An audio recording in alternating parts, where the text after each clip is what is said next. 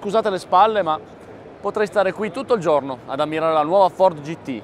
Guardate che cos'è questa macchina.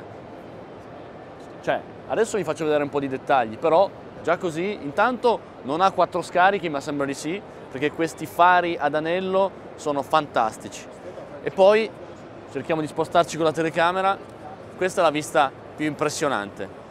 Guardate quanto è stretta la carrozzeria, come si incastra qua dietro, sembra ad abbracciare il volante che è un 3005 V6 biturbo da 608 cavalli, quindi le varie Ferrari, Porsche, McLaren hanno una nuova rivale e questa è la macchina che Ford ha creato per festeggiare i 50 anni della tripletta della vittoria Alemann con la Ford GT40, tutta spigolosa, bassa, molto distanziate le ruote, al di là del passo il fatto che si restringa così tanto crea veramente delle proporzioni molto strane e adesso vediamo il frontale perché questi fari sono finti, sembrano finti, sembrano fatti per un film.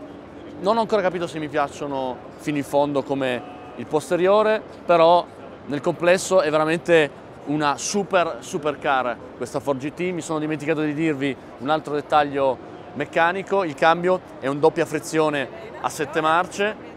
Guardate anche che belle l'aerodinamica del cofano anteriore per l'estrazione dei flussi d'aria.